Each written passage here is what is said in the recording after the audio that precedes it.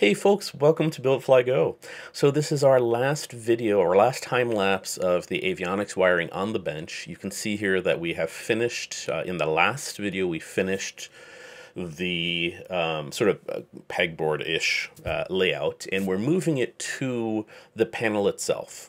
Uh, I didn't put all of the connectors on the on the uh, pegboard because uh, you know this is one of the first times we're doing this and we we don't have a great idea of what links are really going to look like once we get there.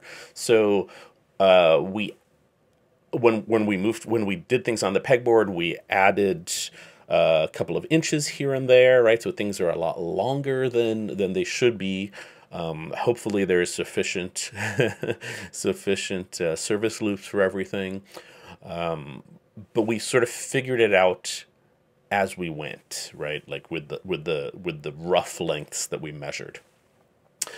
Um, of course, folks that do this every day, you know, for a living, have a much better grasp of how long to make things, right? Once they once they measure uh, the actual lengths, or once you know early on we did it with ribbon. Uh, you saw we did we ran ribbon between all the devices, um, which isn't horribly precise, uh, but this gave us that that length. And now that we put it on the panel, we you can see that we've created braces. Um, you can see on the left is a brace with an Adel clamp. Then there's two little L uh, brackets with Adel clamps right on the radio stack on both sides of the radio stack. And then where the uh, GTR20, the COM is, uh, there's another um, set of Adel clamps. And also there are Adel clamps on the sub panel. You can see that they are right now just temporarily clipped into place uh, with, with Clecos, with Cleco clamps. Um, but that is giving us the you know the the the core routings right like this is where the harness is going to go this is where things are going to go and that's allowing us to set those final lengths. You can see that we've we have a good, uh, decent service loop there for the, the GTR. Uh, those are going to be tightened up, of course. All of these are going to be tightened up with zip ties. Uh, we've decided not to do um, lacing wire, uh, mostly because it's a lot more effort right now. Um, we might change this to lacing wire later, but definitely for now, it's all zip ties. Um, so you can see that you know the if you look just just to the left of the that crimper that pin crimper the blue pin crimper there, um, the wires uh, go from the main harness you know sort of the main bundle to the the GTR. I'm sorry, not the GTR, the GTN, the GTN 750 Xi. Um, and all of their connectors, right? That's that's the probably the densest area because there's four or five connectors there um, and a lot of wires. So you can see, right, like that's roughly what it looks like, and it's going to be tightened up with zip ties and cleaned up uh, once we have everything else, everything else going. So what we're doing here at this point is really just pulling the wires, you know, from from the bundles, from their individual little sub bundles to the specific spots where things are going to go to the to the components. The components are all attached to the panel and the sub panel at this point so we know where the connectors are and we know exactly where the wires are going to go. Um, and uh, as we do this, as I set the, figure out the lengths, I cut all the wires to size. Uh, scary part, right? Like you're, you're, you're, this, this is it, right? Like you're cutting the wires to the size they're going to be. Um, and then we start terminating them right? We start uh, draining the shields, right? Cutting back the shields, draining them, putting pins on them, splicing things that have to be spliced, like CAN bus in particular has to be spliced. And, uh, and then putting them in the connectors, right? In the connectors and then in the back shells, which is why you're seeing me refer a lot to to the documentation here. Uh, you see it. There's always a, a doc. Uh, of course, as soon as I see that there isn't one, there's always a doc in my hand and, and on the on the bench right for me to glance at. Um, it's also why there is stuff there's stuff scattered everywhere. If you you know like if you look at the the floor the desk the the, the table um, there's connector kit bags everywhere. There's you know it, it's honestly a little messy. But uh, so this is the this is the spot where we've moved from uh, mostly the planning uh, phase, right, where we were deciding where, uh, early, you know, early on when we were running this, we were deciding, okay, I'm going to run a discrete from here to here. I'm going to run a serial port from here to here because you need to know the wires for that, right? So those wires were run, and now we've moved on to actually figuring out which pins on the connector are what. Um, it, it's actually super easy. Uh, take a look. You know, at this point, you've already looked at the the installation manuals, right? In particular, the Garmin installation manuals are very, very, very good. And you can look at those and say, okay, this connector, these pins do this, or these pins uh, do that, and that that's what we're using, right? Like we're we're making sure that the labels are correct. We're making sure that the the lengths are correct. We're making sure that the you know the pins are the right kind. I did at one point connect you know do a whole connector in male pins when it should have been female. Um, you know, just there's enough length there to to lose uh, the uh, maybe an eighth eighth of an inch. Um, but you know, be careful with that kind of stuff.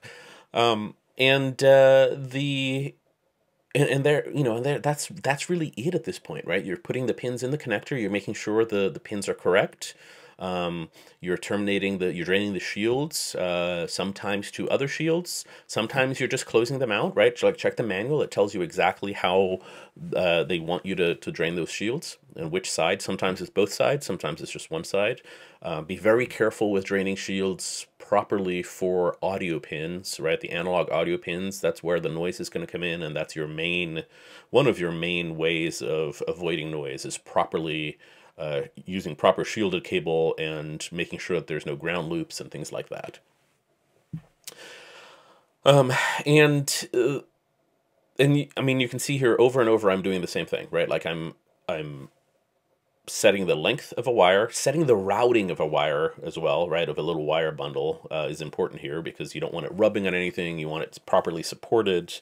Uh, the FAA the FAA has uh, guidelines on how often you have to support things, um, and you know follow those. AC forty three thirteen talks about this, uh, but the for for us the important thing was knowing that you know airplanes vibrate airplanes move. You want to make sure that your wires aren't rubbing on anything. So you know judicious use of adel clamps right? Like create little brackets um, for things and use Adel clamps to support the bundles so that you know they don't get a chance to to, to move around and rub on stuff um, and possibly cause you issues later on. Um, this is the this is one of those situations where having good tools I find is is really really nice, right? Like a nice set of offset cutters here. Um, I've learned make a insane difference on on the quality of, of the cuts and and the and making things look good. Same thing for for wire strippers, right? We talked about in the tools video that I made.